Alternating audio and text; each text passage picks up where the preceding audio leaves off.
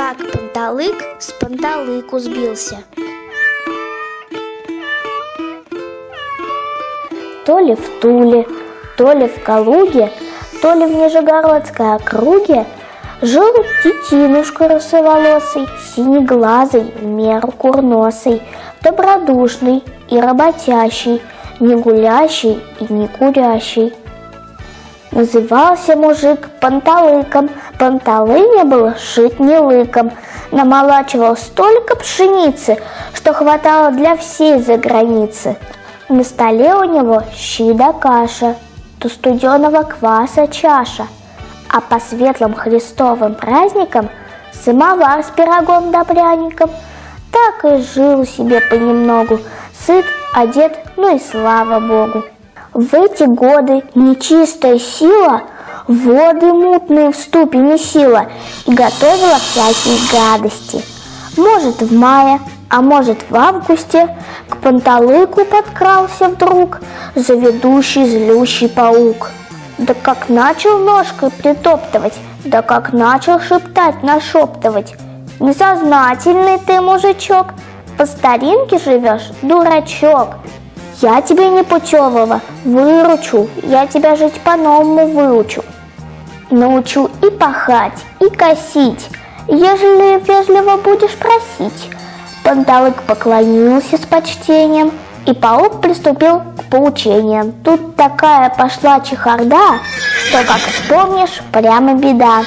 Начала беситься кобыла, про саху с борозной позабыла, и пошла по пригорку скакать, огурцы, помидоры топтать.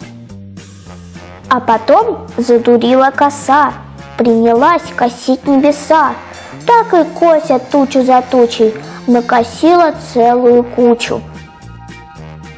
Вилы носит копну за копной, а травинки в хлеву ни одной. Коровенка вздыхает, охает и, моргая глазами, окает. Ох ты, горюшка, лишенька, Ох, парнишенька, свет панталышенька, Не сдавался бы ты с пауком, Ты бы лучше его каблуком.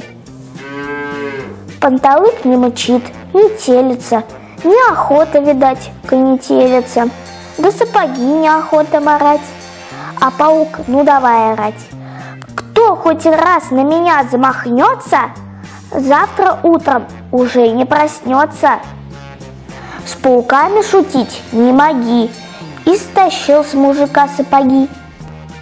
Перестала расти петрушка, перестала нестись пеструшка, от безделья спятила курица, по паучью кудахтать учится. Эх, не весело нынче детине, вся изба в сплошной паутине. Ни капусты нет, ни картошки, даже хлебцы порой не крошки. Рассерчала кошка Мурлыка, зафырчала на панталыку. А на землю с белого облака смотрит старец пресветлого облика и с небес к панталыку спускается. Не пора горемык, покаяться? Ты же радость моя, чай не нехристь. Что ж ты слушаешь всякую нечисть? Ты же, радость моя, в Бога веруешь, а чего творишь, сам не ведаешь. Ты ж крещенный мужик, панталык, паучиным словам не привык. Мужики при любом пауке говорят на родном языке.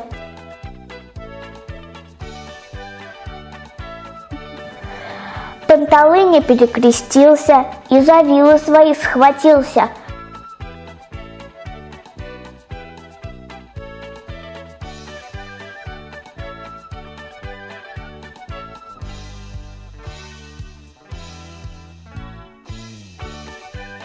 Что куражишься, сатана? Размахнулся и дал щелбана. Хоть была паутина крепка, старец вызволил мужика и открыл ему тайну великую.